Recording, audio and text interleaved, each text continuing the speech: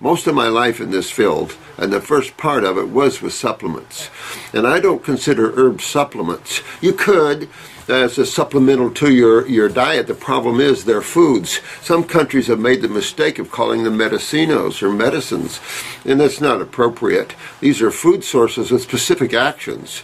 And all foods have specific actions. There isn't any one food that doesn't have a specific action and then some. Plants have a consciousness. All things are pieces of the whole consciousness. These are states of consciousness. Everything is conscious at one level or another. And merging consciousnesses together makes more strength and power. It's neat because let's say you're a carpenter and someone hires you to come into their house and do work. Well, that's what you're doing with the plants. This plant is a liver plant. It's we we take and hire basically this plant to come in and fix our liver. And that's how we do the, uh, the herbs. We, we use them for their specialty and what they're here for. Thank you, thank you, thank you. Because if we look at our repertoire of tools that we need to help ourselves, we don't have many. But a good example is that a lady here with cancer in the lungs, she bleeds all the time, and her, her oncologist said, Well, you're probably going to bleed out and die that way. And like, oh man. I have a bleeding formula. That formula stops internal bleeding. So she can use that and, and strengthen her capillaries at the same time with working on the parathyroid, and she'll be okay. And we can keep working and working and working. That's the beauty. If any practitioners are viewing this, this is the beauty of botanicals. You can use them as antispasmatics, uh, as homeostatics, uh, or hemostatics. You can use them as anything uh, you want. The, the, the, range that they have is so incredible. It's, it's amazing. Remember, the raw foods is cleaning and strengthening in and of themselves. Then you're looking for more tools to help us be more aggressive and tools that are more powerful than, say, the foods of today. Well, that you're getting then to what I think God made to help us, and all the other animals seem to think it too, is that the herbs and the herbs are specific.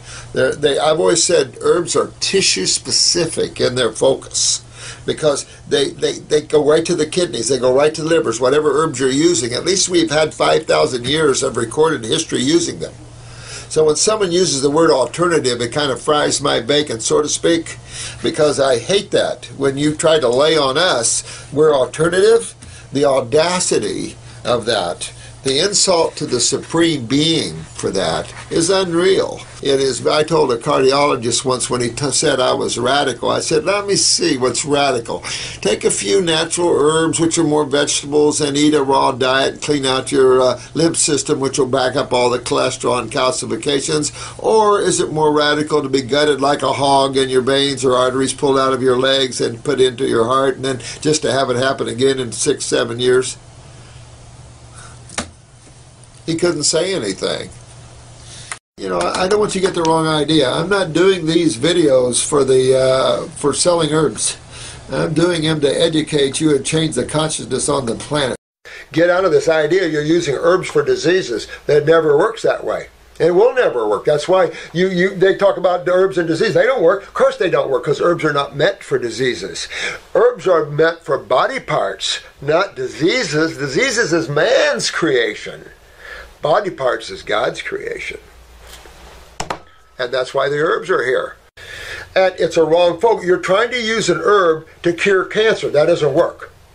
All right, so let's put it into our realm. You're trying to use an herb to break down tumors. Well, you're a little more successful, but you won't be successful until what?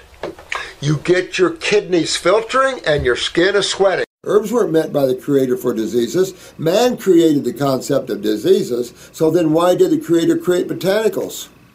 Well, what's the body made of? Tissues, cells, groups of cells called tissues put into organs or glands.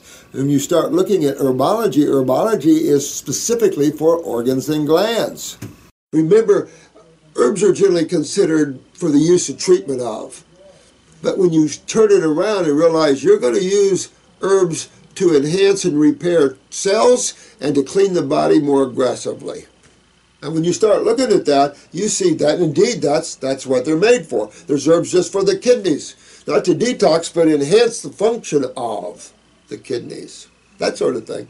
Yeah because they just accelerate cleansing. They accelerate. They're herbs to rebuild kidneys. There's herbs to rebuild livers. There's herbs to rebuild all kinds of tissues in the body. There's herbs for everything out there. There's herbs for the lymph system. There's herbs to break up tumors. There's herbs to kill parasites. I mean, we have a, a, a pharmacopoeia like nobody's business and a loving pharmacopoeia. Sure, there's toxic herbs out there.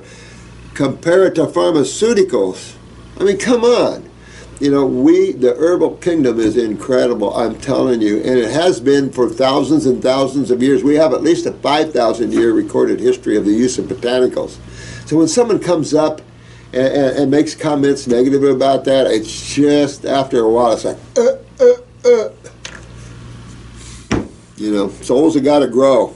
Holistic is using whole, not using supplements. Supplements are not holistic thinking. Herbs are because they're holistic. They're whole in themselves. You're taking the whole plant or part of the plant. In chemistry, when you're using supplements, you're isolating the chemistry out of these factors and then potentizing them or putting together in, in whatever a biochemist think is good for you. And in the um, absorption of things, the malabsorption of things today, we're, we're seeing high potencies in supplements that might not need to be. Um, you know, Gerson got their butts a little kicked with the FDA with 100,000 uh, units of A and beta carotene. You have to be careful with things and the oils. You're not trying to pound the human body. You're trying to simply clean it and repair it. And you can simply do that with the chemistry that it's designed to use. It's not difficult to understand that. People take off on paleo diets and things like that. It's like, please. Got a question about herbs. How exactly do they work? What happens in the body? Do they work because of the magnetics or nutrients or what? I think it's a combination of all that. I really do. I think it's the, the consciousness of them. It's a it's the the, the the constituents. I mean, if you start looking at what we're learning, that we years ago we didn't know a lot about the chemistry of plants. Now we have a lot of people tearing open. You can buy some of these herb books for like four or five hundred dollars. Really, I got some nice herb books here that very expensive, very uh, intellectual into chemistry. So we're finding these individual constituents in these plants, and now we're giving them different names. But these individual constituents that we had not known before have unique individual properties. That's what the pharmaceutical companies find. So they find these individual constituents that they think, whether it's a, a, a, an alkaloid or flavonoid or whatever it is, they find these mostly alkaloids, but they find these uh, these individual constituents that has the power to affect tissue in a certain way, and then they isolate that and then try to make a, a, a medicine out of that. Didn't realize that the plant needed put all that chemistry synergistically working together. The power's still there but it, it is working synergistically, therefore it does not have a side effect to it. Most of these symptoms are all detoxification symptoms. The only ones you really have to be concerned with is, would be an anaphylactic shock, which is the throat stricture closing, and we've only seen it once, and that was within a circulation formula, and it was uh, uh, dealt with a particular tree that uh, this lady was allergic to, and she had a little allergic reaction, and that was probably 30, 40 years ago. So I, I've never really seen any of that, but your body, your skin is going to respond. That's your third kidney. You're going to see a lot of responses, sinuses breaking loose, ears popping, uh, even tumors growing, swelling of the lymph nodes. We don't like too much of that because it shows how, how backed up the kidneys are and how you're not filtrating the lymph well. But uh, ultimately uh, this will all break loose. You worry about mixing any combination of your herbs. Someone asked me about mixing any combination of our herbs. No, they're all going down the gut. They all know where to go. They all have their own consciousness. They all know where to go. I love mixing different herbs. It works better, I think. Single formulas, you're sitting there and it's okay. You get more power when you when you have less and more people working together. Yeah, us all working together as a team is a lot more powerful than just me. So that's why I love teamwork, and we all are a great team. You guys are doing well. You're helping people. I just love you guys. You guys are great. That's why I just dump all the herbs down the hatch at the same time. They all are individual. They all have individual consciousness. They all know what they're doing. They're individual chemistries. Uh, and everybody just works synergistically together like nature does in the first place. I find you'll go a lot farther, a lot quicker, and a lot more powerful if you do a program as opposed to sitting there taking one herb like gotu kola by itself. You put it in with some buddies, and they all work together. They're strong. Three, three of us big men can do a lot more than one. And so when you get some big boys in there working with them, everybody's uh, is tearing you apart and fixing you, you know. So I just love the herbs. I think you can take all you want. I love teas, no question about it, but you have to heat them up. Uh, I like raw herbs when you're trying to get to the GI tract and uh, you want to get to the liver or pancreas, I use the raw herbs or the dried herbs or powdered or capsules. Then if you want to get in systemically, I like I like the tinctures because they absorb well, little digestion's needed. Whoop, suck it right in. The alcohol actually takes it to a cell much quicker. So there's a real benefits for alcohol, but it does yield you 98% of that herb. Glycerin or vinegar, you only get 60, 65% of the herb. And in this, and at my level of work, there's no way I can just give you half of what that herb can do. There's just no way you want to spend your money and only get half the, the power that, that a, a alcohol tinctured herb could do. But again, that alcohol has merged with the chemistry and vibration of the plant that makes it strong and does make it carry to a cell, but uh, it definitely is powerful. Like this gentleman, which we won't mention any names, made a statement of how alcohol destroys the herbs and everything else, and it's like, oh, you know, I mean, there's some of these people out there with these kind of wacko thinking things that just doesn't, I don't know. But I do want you to to know is that we have uh, moved our alcohol. I've always wanted grape alcohol, and so we finally got grape alcohol. And it's a much better alcohol, and it's really good. The problem with uh, using any other menstruum, and I've talked about this before when you make herbal formulas, is glycerin. Now, our glycerin infused is a whole different process, but the typical distillation uh, by um, uh, glycerin or vinegar only yields 60 to 65% of the herb. If you're spending money for a formula, you want that formula to be the most powerful formula that you can buy for that money. Now, you say herbs survive the high heat required to prepare them. Did I say that? Have I ever said herbs survive high heat required to prepare them? I've never said that. I don't know where you guys come up with these things. Like the, this one lady this morning said, I said that something about uh, what was that? Something about vegetables uh, have high glucose levels, and that you get too much glucose. And what? I love people that don't see the things that's really being said. Here you go. You say herbs survive high heat. I don't heat no herbs. I mean, the only way you see that is in your teas. And when you're boiling teas, you want to remember that you don't boil the leaves and flowers. You just need to simmer them. And then the uh, the roots is what you boil because you're you're boiling something really hard, and you want to break down break it down and get the goodies out. The only time you would uh, heat anything is the teas. And you know what's fantastic to me is when you heat a tea, when you boil even a tea, it has incredible power to it. Isn't that cool? But when you cook a food, it's dead.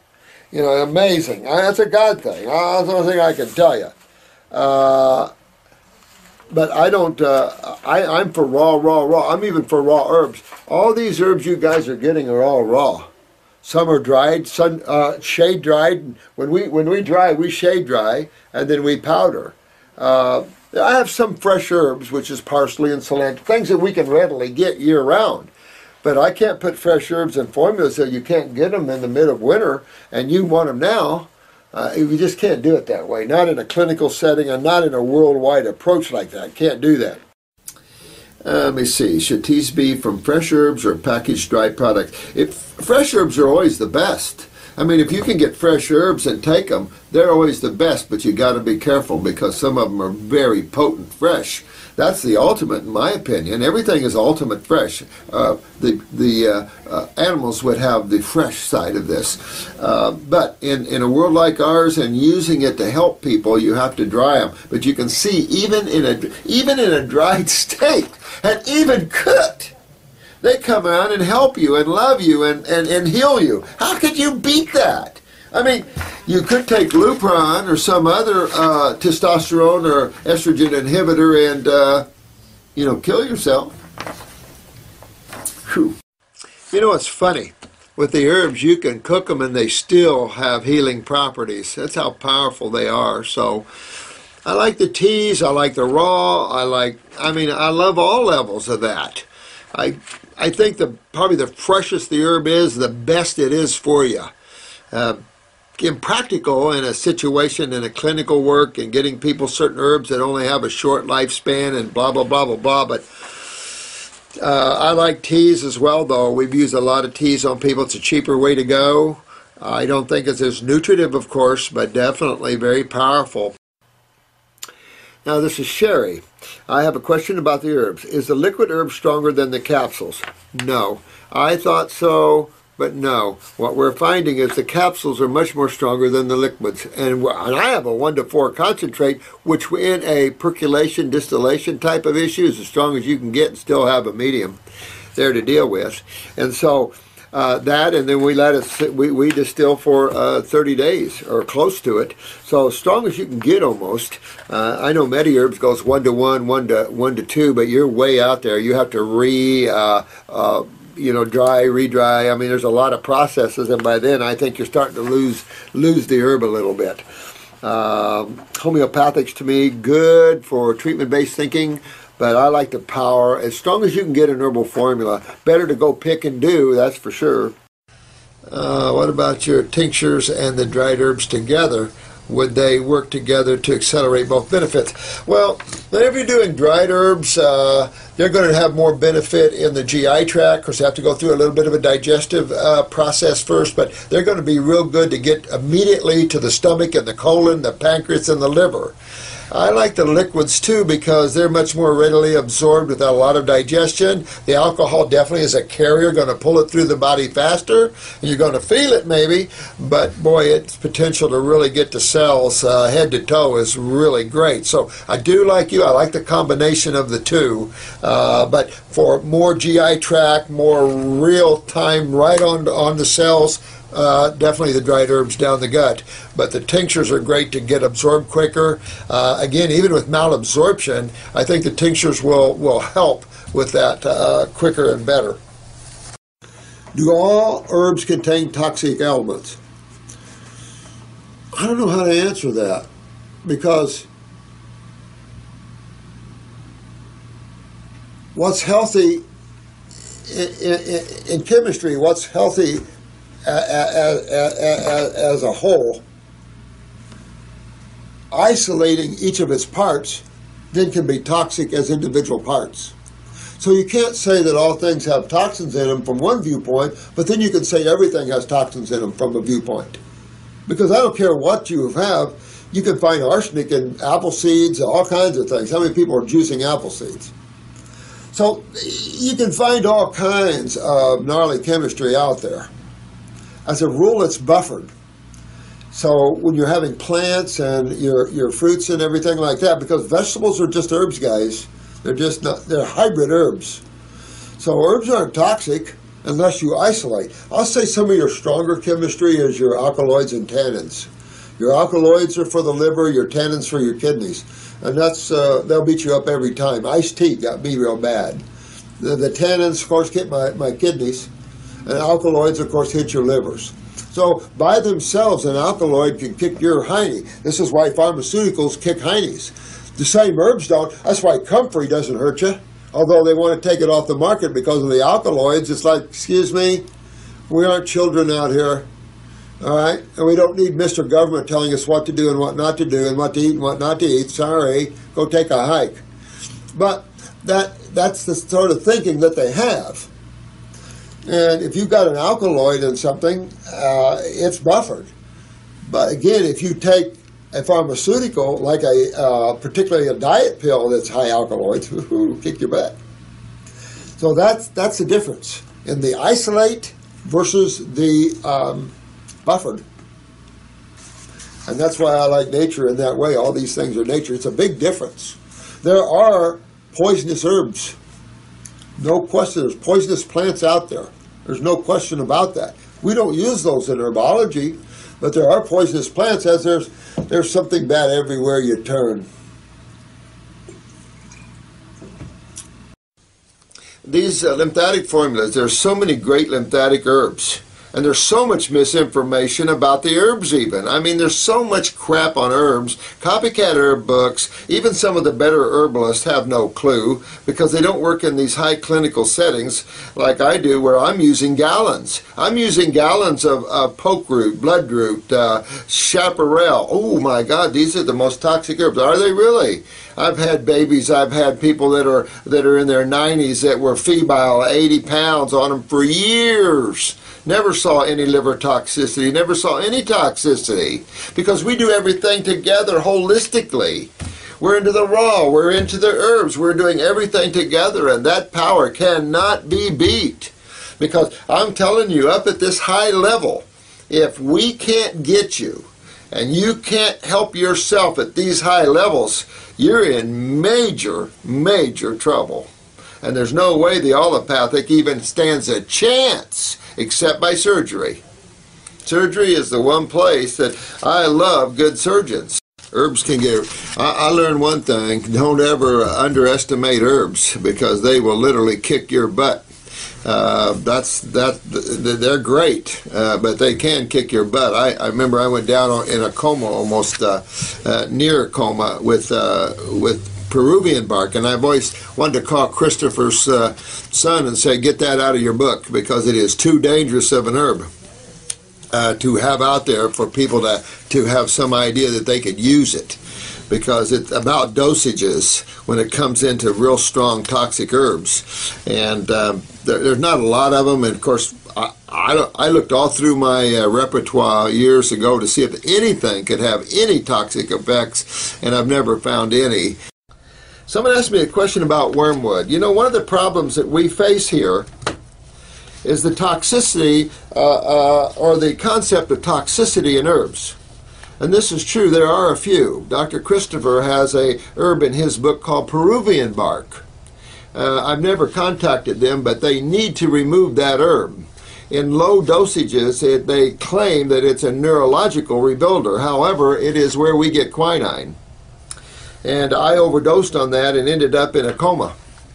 And uh, this is a major neurotoxin.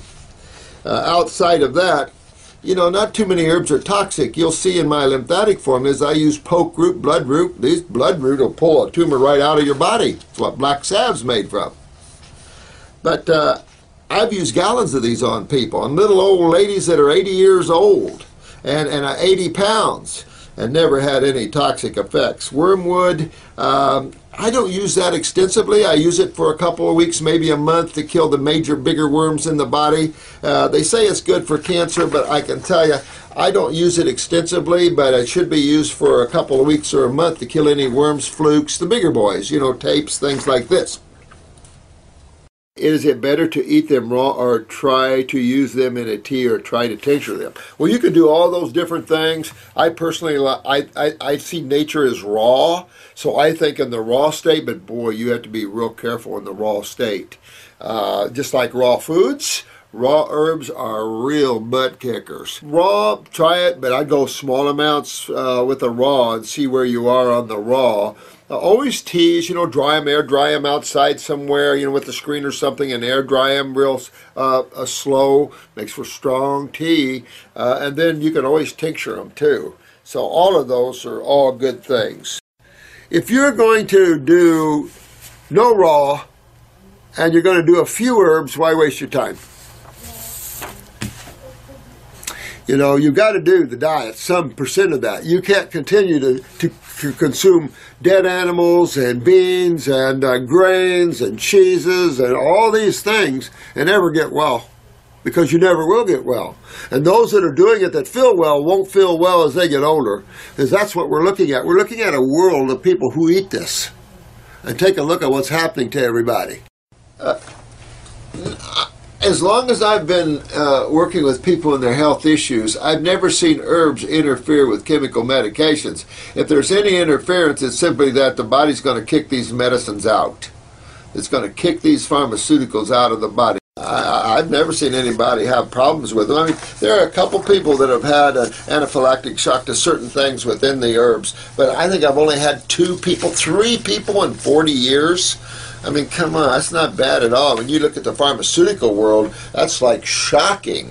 The death rate. We accept a certain amount of kill ratio in the allopathic community. Nurses have a certain kill ratio, believe it or not well aware of those things. The medical doctors seem to have an unlimited kill ratio, uh, but there, you know, there's a point where the eyes start raising and saying, "Wait a minute, you're killing too many people." Pharmaceutical companies doesn't seem the FDA doesn't seem to care. They would rather raid somebody over raw milk or about supplements making some claims as opposed to pharmaceuticals that are killing people. It's okay. You can kill 20% of your people, 10% of your people. You can give 20% of your people uh, heart attacks and strokes. It's okay because you're wonder you're, you're doing wonderful work with the pharmaceuticals. Who's saying that? Who's who's really bringing that up? The pharmaceutical companies? I mean, these guys serious karma really bad stuff going on there. And the FDA's got his chest out and, and, and, backing up the kill ratios and stuff of this. And this is sickening. This is revolting. Herbs bring out the problems. Now, I'll put it this way, and this is something you might look at, and it might be true with homeopathics as well, but I know it is with the herbs here. They don't cause problems, they bring problems. Now, you know, there are some herbs once in a while your body just doesn't want. Uh, there's no question. The vibrations are wrong for you at this time or whatever. Granted that. But as a rule, herbs only bring out what's only there. Whatever's already there, herbs bring that out into your face. Uh, just remember that. Herbs bring out what's already there. And what's already there is what we're going after there to help all of you guys get remedy there. This is about a liver enzyme here that went up. Uh, if you're on too strong of lymphatic formulas, they're going to pull the the the acids out of the liver much more aggressively, and you can see elevated liver enzymes. The one reason we kind of took people off of lymph node too is that real strong on the liver. So yeah, some of these herbs can get real strong on the liver, but uh, uh, generally, if you see a liver enzyme go up, it's just your body detoxifying. And I would turn around and go at it. Put yourself on the liver gallbladder because if you see a liver enzyme going up, you have liver gall liver or and or gallbladder problems. So you really want to clean that up. That's the first sign when you see elevated liver enzymes that your lymph system is not flowing through the liver like it should, and you're breaking down the liver, therefore you're seeing the enzymes of the liver going up there. Take a look at the uh, formulas that you're on if you're on too many lymphatic formulas, back down a little bit, or if you're on in lymph node 2, back down a little bit on it, and just clean your liver out. But this also is a, a suggestion that you have liver problems. We see this whenever we go to the eye. So get a picture of your eye and look at your liver gallbladder area. I think you're going to find uh, some uh, chronic lymph problems or, or even some genetic weaknesses for that matter.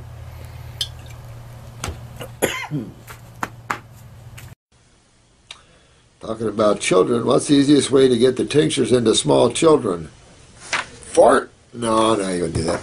My kids are having a problem with the taste. No kidding. Well, Trader, Trader, I'll say, my dear, uh, you want to put them in some grape juice. Is the best juice to hide the uh, liquids in there is is grape juice, not apple juice, not orange juice, grape juice. Now, can mix some herbs in with applesauce. That's what a lot of folks do. Uh, some of these kids are just belly right. I'm amazed at some of these kids. They take their dosages right down, but in reality, they are a bit strong. So you might find some juices and flavorings to help them with that. Uh, certainly, they're strong. I wish I had a better menstruum that uh, had a flavor and that we could extract so much out of them, but uh, out of the herb but vinegar is not, and uh, glycerin are real way down, and I don't like glycerin at all. And I hate vinegar. My issue is don't don't always use laxative type herbs. They're they're addictive. Uh, my form is clean. The mucoid plaque. Mucoid plaque is relatively simple and easy to clean off the bowel wall. Generally speaking, ours will make your stool black or you'll get them in pieces, either way. Um, I don't use, I mean, I do use some bitnite charcoal that's in our GI broom, but I put a lot of astringents in there. The ultimate goal for me is it's easy to clean the bowel wall off. There's the GI tract, the small and large intestines. It's easy to do that. It's not difficult. The real issue is in the wall. That's interstitial lymphatic constipation. That is a lot more serious. This is where most of the IBSs are, the cancers are, the polyps come from. Everything comes from with where the cells are and the two fluids are.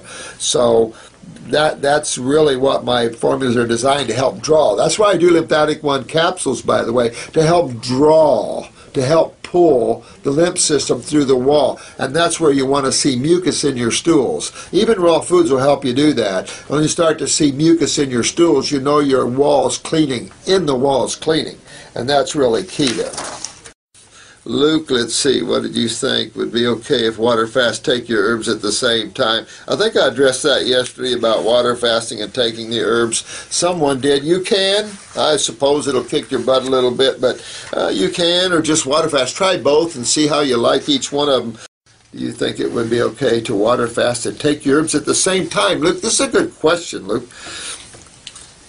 I've never water fasted and taken herbs and we don't we've water fasted a few people.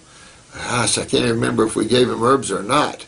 I think you could try it. I think it'd be a butt kicker.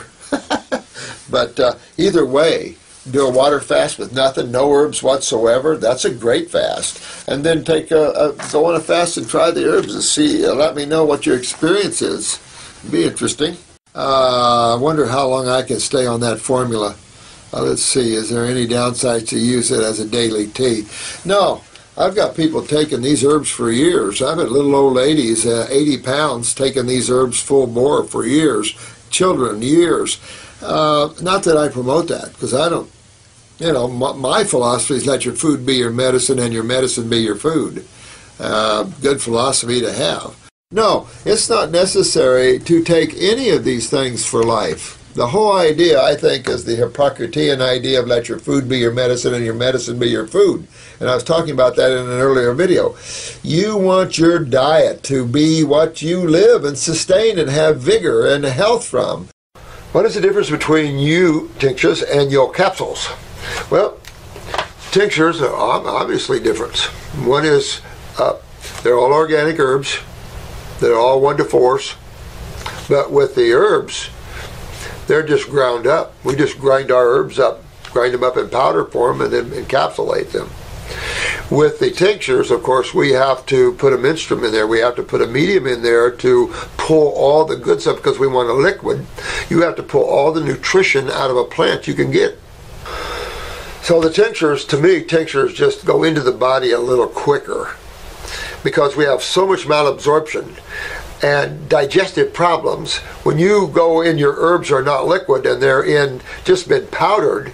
That's just taking a, a an herb and just powdering it down and eating it that way. That take that has to go through digestion and absorption. But the good reason for that is it'll work on the bowel wall. So I have the herbs that'll work on your bowel wall, except the kidney capsules. I have all the other ones. The lymphatic capsules work on the bowel walls. The uh, the stomach and bowel formulas, the uh, heal all capsules, the GI broom. All those help to clean and restore the GI tract. And the liquids are for people that I see very malabsorbed and hope I can get that route as well so we can get to the lymph nodes quicker. So that's always been my thought with the tinctures is that we can get to those lymph nodes quicker because your whole suffering is geared on how fast you can get that lymph filtering through your kidneys. Your whole suffering, your whole nine yards. Nothing else. How fast can I get my kidneys to filter this crap acid out of my body? And that's your whole gauge to go by because there's nothing else. I'm sweating. So you have those two gauges, filtration of the urine and sweating. Those two things have to take place before you can claim Wellville. Should we use one or not the other? No, I, I have this designed so you use a little of both. That way I'm, I know I'm getting good into the GI tract, but I know I'm giving you some liquids and tinctures that I can get out and into the system maybe better. So they're just, I love them both. That's why I use them both. That way, we're for sure getting something in you. Some people are grossly malabsorbed. You have IBS, you got Crohn's, you're malabsorbed. Period. So one of your questions has been on adaptogens, and you betcha I love adaptogens. Uh, sometimes adaptogens are hot, like ginseng. So if you have prostatitis or you have a lot of acidosis, I don't recommend adaptogens right off because it just adds to the heat factor of the body. But uh, I love adaptogenic herbs, very powerful on the tissue, and I, I really think plays a vital role in genetic remembering and the strengthening of cells. Um, uh, adaptogenic herbs, you betcha. I mean, it strengthens the body up. I like cleansing the body uh, first. Uh, because of all the, the excessive heat and, uh, and the acidosis of the body and all the damage and stuff, and then then build it up. All this medical doctor needed to do was get him an herb book and go read about the herbs in them to understand the beauty of those herbs. And once you start reading of the beauty of herbs and their effect on the body, forget pharmacology, forget these toxic, deadly chemicals, because we have beautiful herbs that embrace and heal the people that use them and the animals that use them. Hell, half the animals would be dead right now if herbs were toxic. Man has got to quit living in fear, and medical doctors have to either own up or you guys are going to run yourself in some big bad karma trouble. You already are. And it's time you stop this sort of insanity and wake up. Now, there's a lot of good, I've got a lot of friends that are great medical doctors, so this is not geared to you guys at all you guys are doing well. A lot of medical doctors use our herbal formulas. I've got a, a lot of osteopaths that have been using our bowel formulas for years. But you get these harebrained wacko medical doctors once in a while that says crap like this that scares these poor people. So the worst thing you can do is go to someone, uh, particularly a medical doctor, and ask him an opinion about herbs or natural healing. If someone does that, then you maybe deserve what you get. Because you don't go to a plumber and ask an electrical question, nor would you go to a medical and ask him an herb question. Now, I want you to keep in mind that always, when you're thinking about botanicals, and you're thinking about how do you use them in conjunction with the diet to get well, know why we're using them. We're using them to help you accelerate cleaning of the lymph system. Those are the more stringent herbs, the lymphatic herbs. We are helping to rebuild kidneys out there, rebuild endocrine glands out there, clean up the bowels, rebuild cells. So look at what we use herbs. We use herbs for cleaning and strengthening.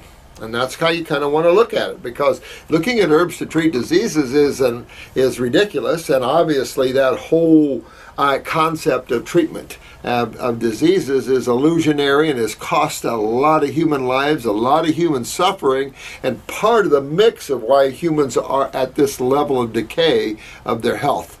So um, just keep in mind that I we always recommend the the uh, stomach and bowel formulas, the lymphatic formulas, the kidney formulas, the endocrine gland formulas, the glandulars related to the endocrine glands.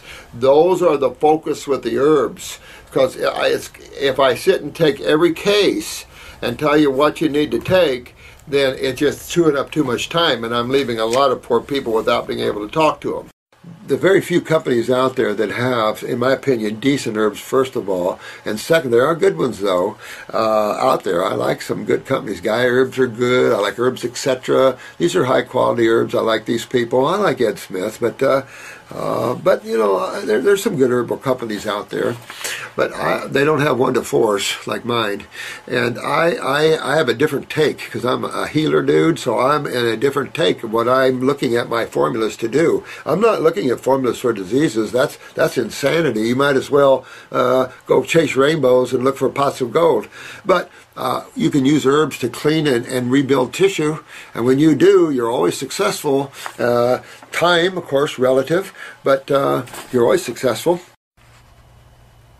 I think the end of the day, herbal formulas, it's going to be who can make the best formulas, and not one ego over another. Because I listen to each and every one of you when you say, I'm using an herb that I, that I heard gets good results. I'm listening to that and I'm seeing if I'm familiar with that herb and I'm using that herb. The problem with formulas is I don't get to see each herb individually and see how well it works on a person. But I'm not willing to take that chance of just playing with people's health with just, well, let me see if this works. I'm just not because I know formulas work well. And now, boys, we've tried individual herbs way back when, and I didn't see the power that formulas. That's what my, my, my thing is. We all work better and become stronger as a team than ego one. Ours was one to four. Nobody makes one to four and, and, and, and out there that I know of and sells them for anything even close to where we are. You don't get that. One to four is like major. That's why we pay so much for them. But most formulas on the market you see when you go in a health food store, one to six, one to seven. They're water compared to ours.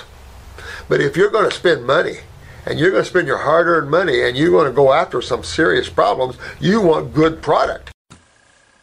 Become a healer learn learn the art of botanical medicine and the and the world of of herbs and apply them differently. Don't use herbs to treat diseases. Get away from the whole concept of diseases and start healing people. Start working with people as you're seeing and your eyes showed you back when you were young. And start pulling back to that spiritual side and become a healer. You're going to find that allopathy is going to die away here. Has to. It's going to move like Europeans more into homeopathy and naturopathy. You're seeing that it has to.